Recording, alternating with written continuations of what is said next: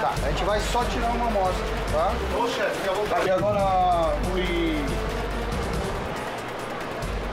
A gente estava aqui numa ação de fiscalização em conjunto com o IBAMA, a gente está dando um suporte para entendermos melhor que espécies eh, estão sendo vendidas, tanto como posta de cação, assim como as, as, as barbatanas, certo? Eh, para isso a gente foi a duas empresas que comercializam e exportam essa barbatana e veio também no mercado central de Itajaí. Saber a origem do pescado, né? Quem pescou é autorizado e aonde foi pescado. Quando a gente tem a nota do produto, a gente consegue saber disso. Quando não tem, a gente trata como pescado sem origem. Pode ser captura ilegal.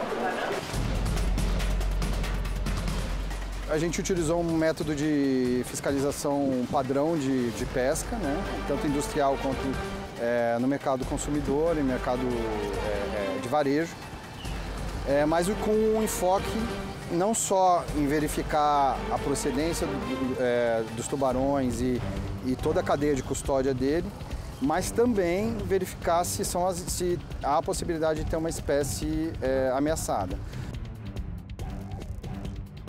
Como tanto a carne de tubarão quanto a barbatana são vendidos fracionados, é importante a gente fazer uma análise genética para que a gente possa avaliar se realmente a espécie que está sendo declarada é a espécie que está sendo pescada e vendida.